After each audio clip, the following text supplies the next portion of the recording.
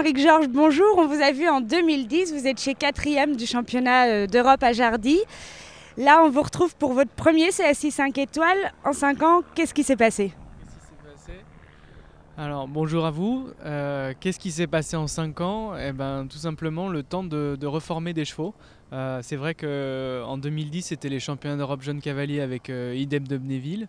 Donc c'était un partenariat avec les RA nationaux qui a, pris fin bah, à la fin de cette, cette année-là de 2010 et puis avec mon passage chez les seniors.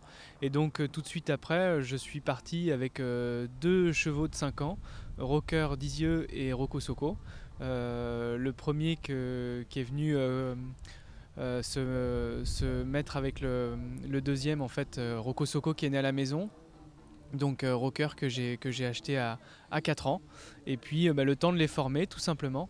Et ça nous amène bah, 5 ans plus tard aux 5 étoiles. Donc bon c'est vrai que c'est vrai que c'est plutôt, plutôt bien déroulé pour nous. Ouais.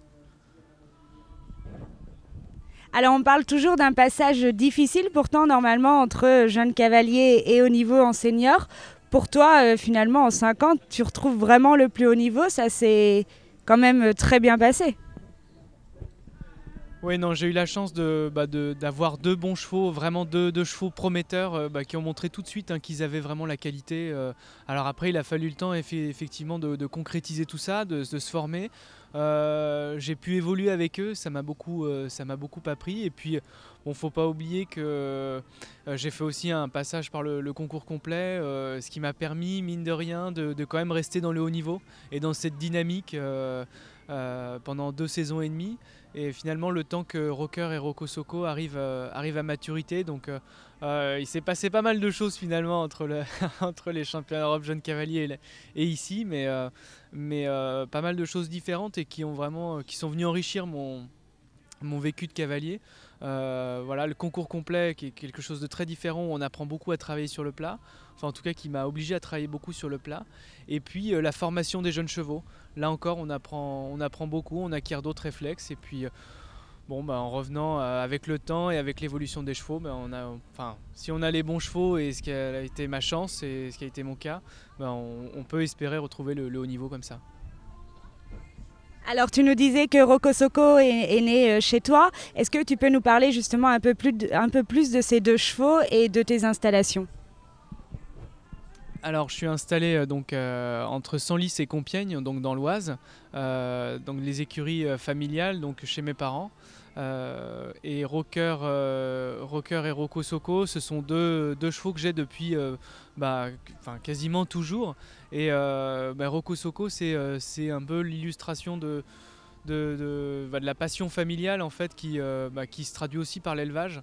Et euh, donc c'était la troisième génération de poulains qui est, née à la maison. Et puis euh, une belle histoire avec euh, une rencontre par hasard sur une visite vétérinaire de, l'étalon Kumano qui était juste avant les Jeux Olympiques en transit. Et puis voilà, c'est Rocco Soko, a été conçu comme ça, avec une, jument qui était née à la maison elle aussi.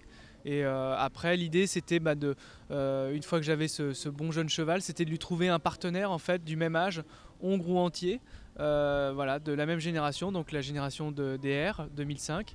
Et puis euh, bah, j'ai trouvé euh, Rocker Dizieux chez les, frères Lécuyer, donc pas, pas, très loin de, Chantilly, donc juste à côté de la maison.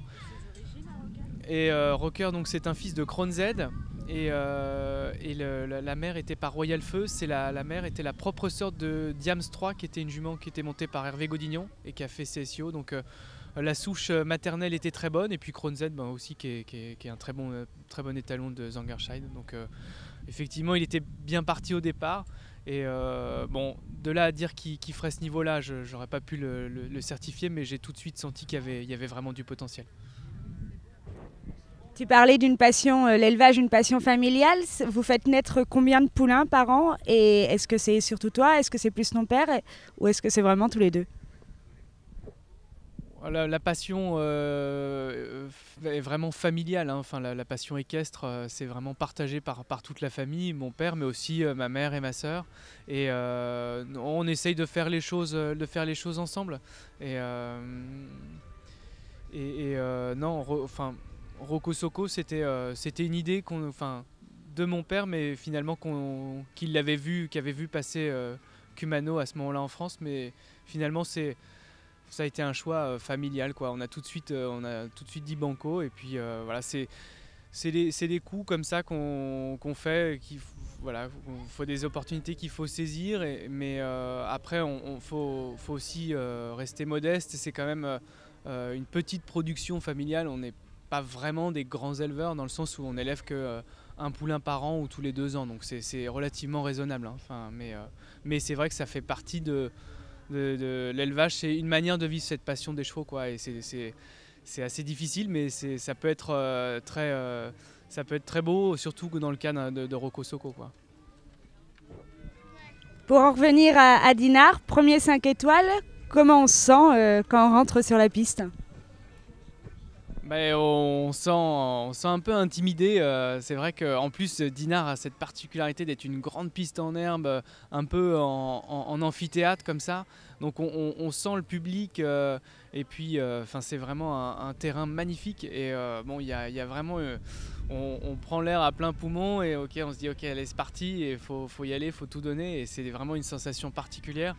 Après 5 étoiles c'est vrai qu'aussi c'est dans l'environnement, c'est les concurrents, c'est bah, on sent qu'on est avec les, tout, meilleurs mondiaux. Quoi. Donc c'est assez impressionnant. Après, j'essaye quand même de rester bien dans ma bulle et puis de, me concentrer sur mes chevaux et, et pas me laisser impressionner par ça.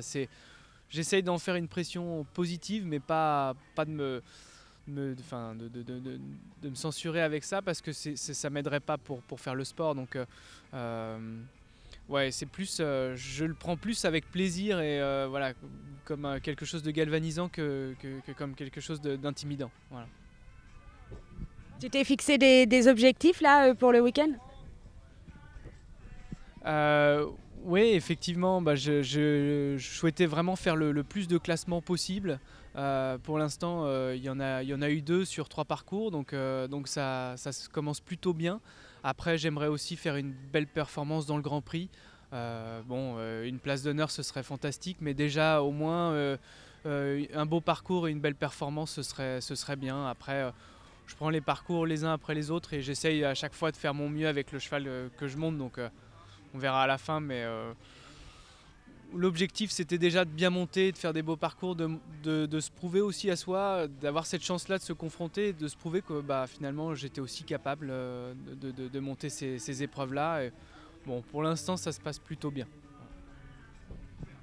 Pour la suite de la saison, il y en a, il y en a d'autres euh, des 5 étoiles de programmés ou, ou d'autres concours? Alors d'autres 5 étoiles, euh, bon c'est pas pas prévu comme ça au, programme. Euh, je vise notamment les, championnats de France donc euh, au mois de septembre à, Fontainebleau. Après c'est plus les chevaux qui me diront ce qu'on peut faire et puis bon il y a aussi les sélectionneurs qui ont leur mot à dire quand même. donc il faut que bah, il faut que les performances soient bonnes, c'est sûr. voilà. Rocker Dizieux est en forme en, ce moment, il revient bien. donc Bon, aujourd'hui, je fais 8 points dans, la grosse épreuve, mais euh, je pense qu'il y, a moyen de faire mieux dans le Grand Prix et, euh, une bonne performance ouvrira peut-être des portes ou à voir. Donc, faut pas, faut pas se précipiter, euh, voir comment les choses évoluent, mais et puis fixer les programmes en fonction, de, en fonction des chevaux et de leur état de forme. Championnat de France, tu vises les pro élites et avec Rocker? Normalement, oui, c'est ce qui est prévu, donc le championnat pro élite avec Rocker. Merci beaucoup.